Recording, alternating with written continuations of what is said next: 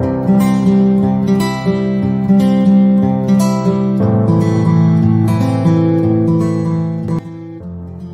उपयोग डिप्रेशन के इलाज के लिए किया जाता है।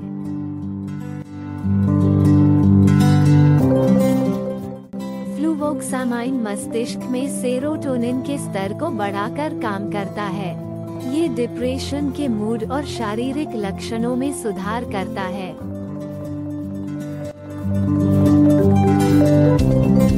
अपने डॉक्टर द्वारा सलाह के अनुसार इस दवा को खुराक और अवधि में लें। इसे भोजन के साथ या बिना लिया जा सकता है, लेकिन इसे एक निश्चित समय पर लेना बेहतर है धन्यवाद